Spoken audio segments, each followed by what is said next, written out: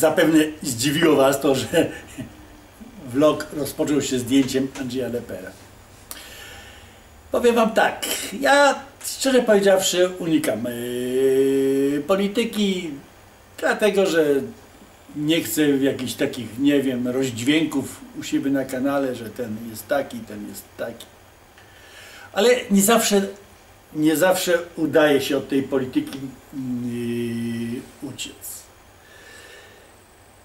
Dzisiaj na przykład y, włączyłem w pewnym momencie mm, komputer, spojrzałem, y, pobiegałem troszkę po stronach internetowych i zatrzymałem się na Onecie, gdzie w moje oczy rzucił się tytuł Umorzono śledztwo w sprawie śmierci Andrzeja Lepera.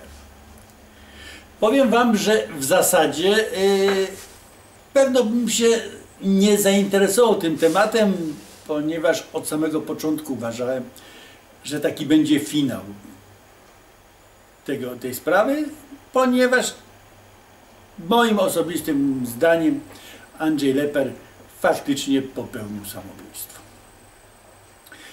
A co się stało, że jednak yy, zacząłem na ten temat kręcić w swojego vloga?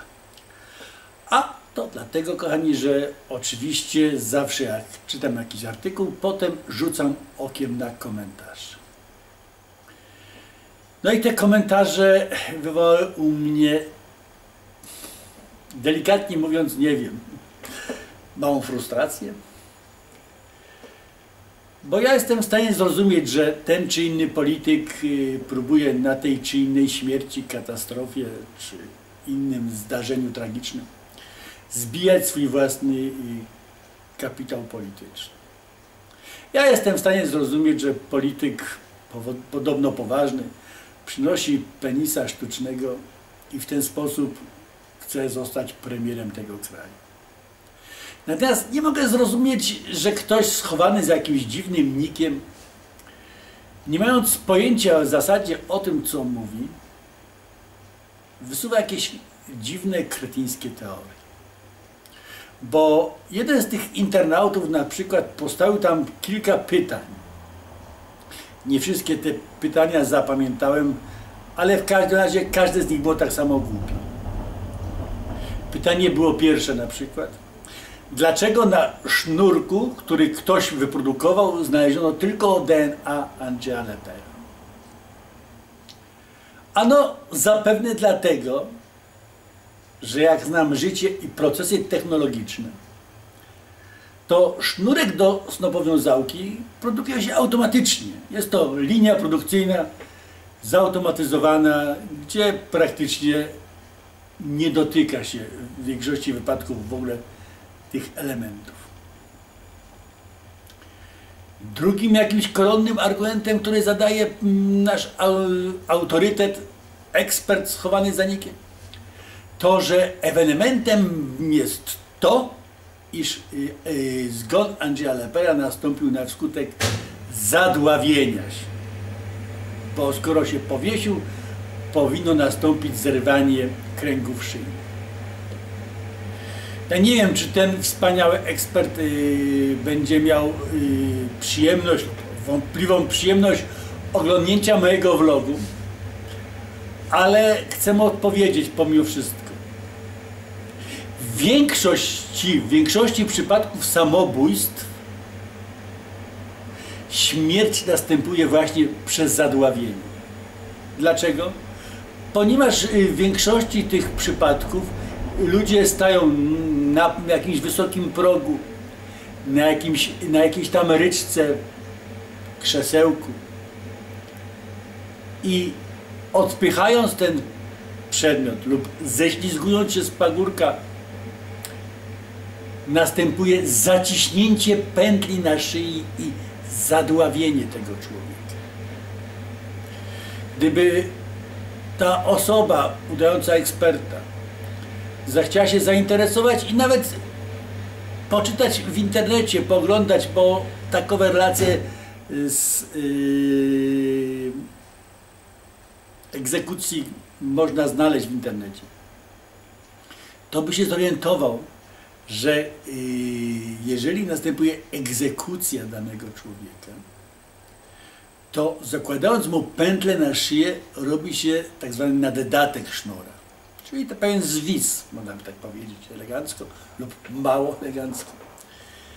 Ten właśnie zwis yy, mniej więcej długości co najmniej pół metra powoduje to, że po otwarciu zapadni ciało wisielca najpierw leci.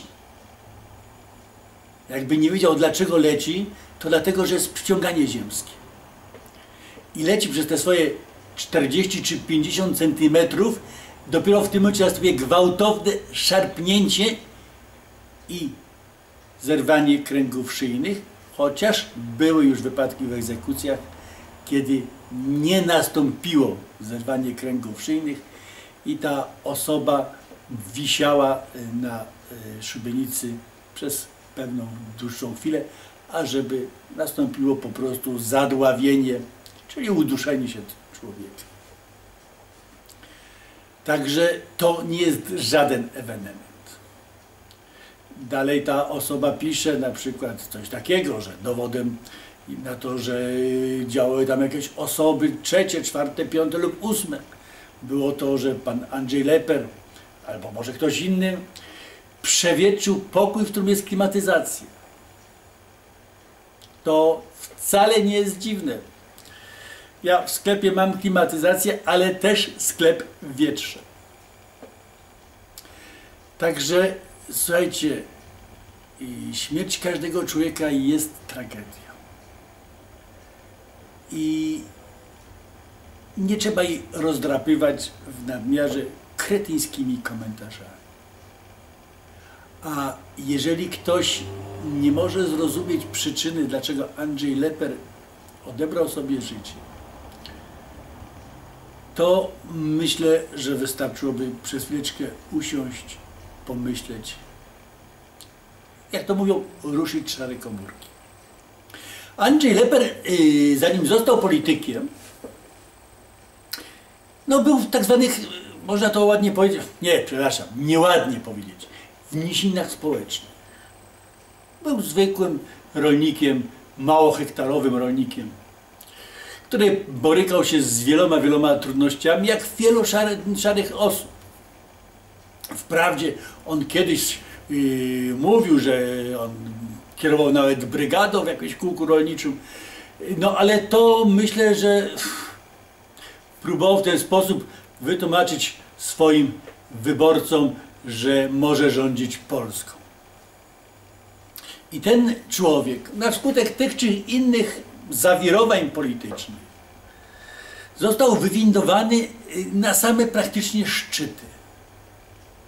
Niczym taki Nikodem Dyzma został wicepremierem.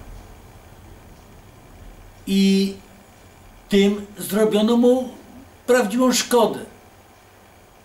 Bo przy całej jego charyzmie, jaką posiadał, na pewno nie nadawał się na polityka pierwszego szeregu, pierwszego garnituru.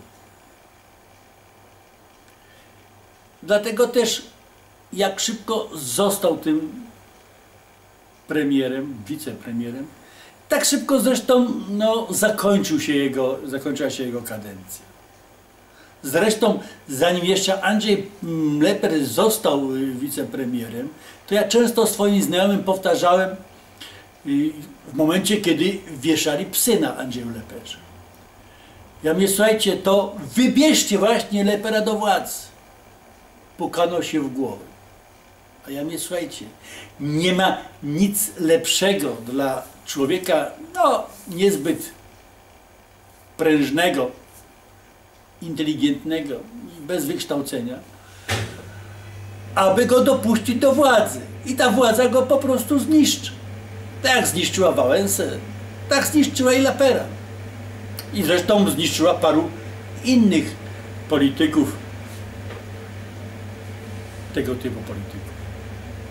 I tak też się stało. Andrzej Leper został wicepremierem. Cała otoczka władzy zaszumiała mu w głowie. ale potem tą władzę utraci. A władza, słuchajcie, to jest narkotyk. Jeszcze chyba, powiedziałbym inaczej, jest to chyba jeden z najgorszych narkotyków. Bo z reguły jest tak, że ktoś, kto traci tą władzę, nie potrafi się pozbierać. I Andrzej Leper tą władzę straci.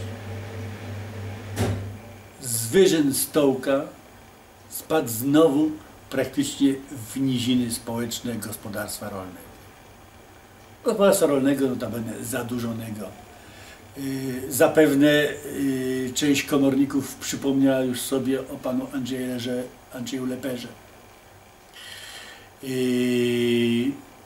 Perspektywa yy, więzienia, ja nie wiem, czy słusznego, czy niesłusznego.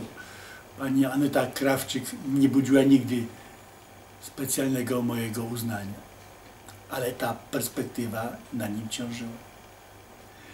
I zniesienie tego wszystkiego jest naprawdę bardzo trudne i nie wiem, czy ktokolwiek z nas potrafiłby to też unieść. On nie potrafił.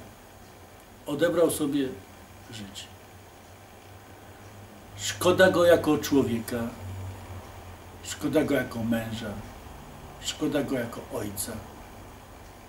Na pewno nie szkoda go jako polityka. Ale to, że był człowiekiem, to na pewno szkoda, bo życie ludzkie jest najcenniejszym elementem. Także zostawmy już tą sprawę. Pozwólmy mu spoczywać w spokoju